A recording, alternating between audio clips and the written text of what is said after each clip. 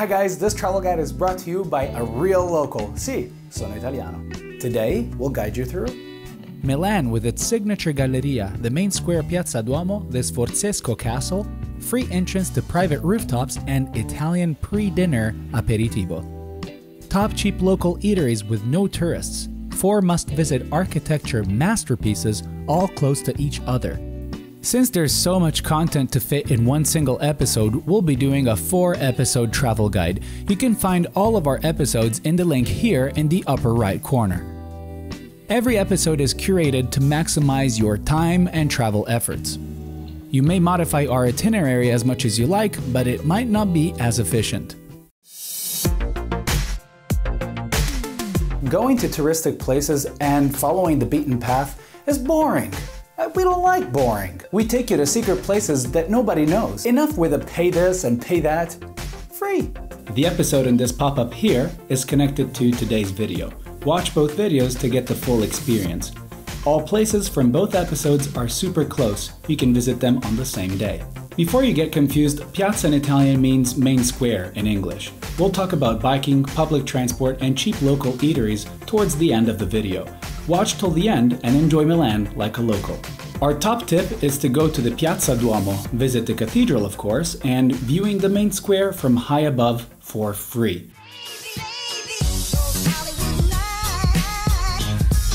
Instead of paying the cathedral's entrance and going up the many steps to the viewing spot, go to the Rinascente rooftop and buy yourself a glass of wine.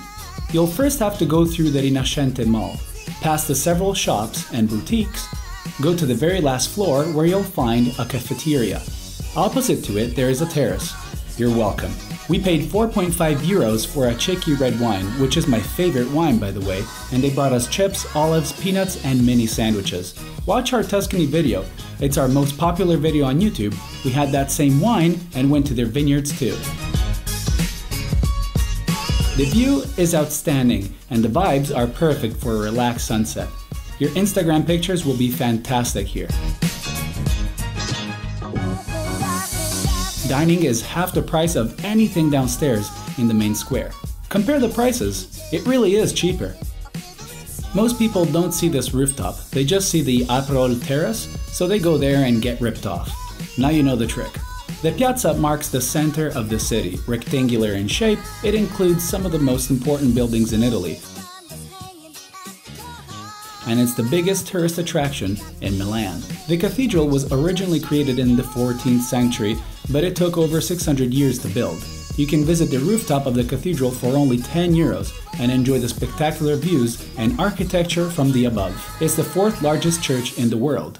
At the very entrance of the Galleria on the Piazza Duomo side, there is a fantastic ice cream gelato shop called Amorino. You just have to try it. Queues here are insane, but it's worth the wait. One of the best gelatos in Milan. The Galleria Vittorio Emanuele II is Italy's oldest active shopping mall and a major landmark of Milan. The Galleria is named after Vittorio Emanuele II, the first king of the Kingdom of Italy, completed in 1867. On the ground are four mosaics portraying the coat of arms of the four capitals of the Kingdom of Italy Turin, Florence, Rome, and Milan.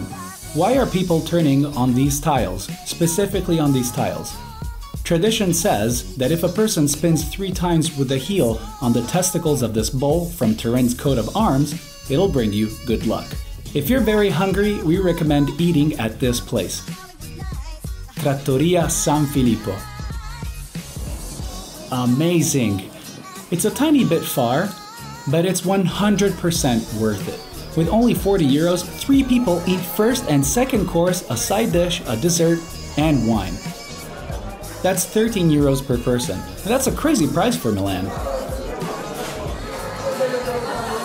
Locals come here for lunch and dinner. You won't find tourists since it's completely unknown.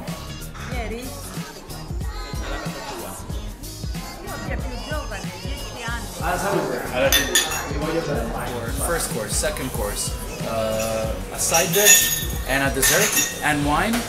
All of it for 40 euros. Yeah. So it was three of us, 40 euros divided by three. It's like 13 euros per person. For all of that. Oh my god. Now we're having grappa. It's a grappa barrique. The name is Nardini Riserva. And then we're gonna have a coffee. Italian ristretto.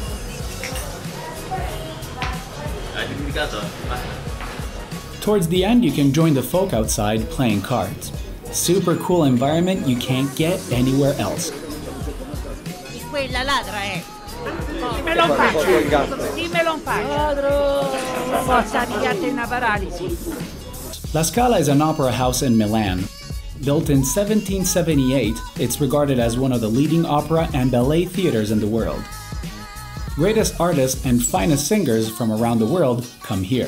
Find the 2019 calendar and prices to all ballets, operas, and concerts below in the description. Right in front of the theater, you may find a beautiful statue of the great Leonardo da Vinci, Italian inventor and universal genius of the Renaissance period. Now, here's the biggest tip we can give you your city movements, don't do them by car, but by foot, bike, or subway. We don't recommend using a car since it's full of restrictions and it's very easy to get a fine. Subway connection is very efficient and saves you tons of time. You may purchase a standard ticket for 1.5 euros and it lasts up to 90 minutes, or a 24 hour ticket for 4.5 euros, or a 48 hour ticket for 8.25 euro. The longer the duration and the more you save.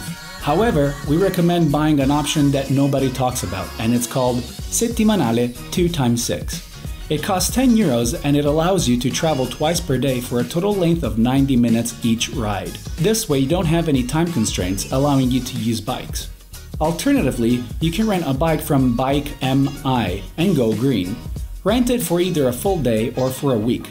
All you do is register online, select the daily package, 4.5 euros, or weekly package, 9 euros, and after you've paid, you get a username and password and unlock your bike.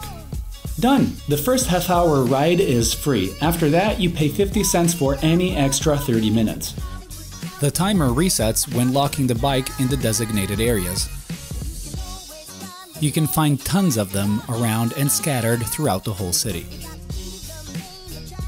Since you're moving between landmarks that are close to each other, you won't pay anything extra, and 4.5 euros per day is a super bargain, trust us.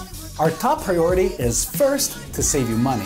Second, to live the place like if you were a local. And third, to enjoy the most without compromises. I'm from Italy, and there's absolutely no way you're getting out of my country without doing the coolest and cheapest things possible. And you'll never get ripped off. I promise you. We're trying to reach 2,000 subscribers, and only your help can make the difference.